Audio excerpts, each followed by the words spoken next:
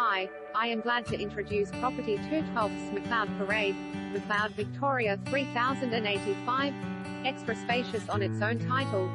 Highly sought but rarely found this three-bedroom, two-bathroom home delivers impressively generous, yet easily managed indoor and outdoor spaces in the coveted Victoria Cross estate. Enhanced by the extra dimensions of a 511 square meters allotment, the wraparound garden includes a north-facing deck al fresco with a retractable awning for sun when you want and shade when you don't. A large lounge suite surrounds to the sunny family meals including an easy-to-work with timber kitchen. Moments from the bus and a stress-free stroll from the station and Macleod Village, it enjoys the extra benefits of its own title.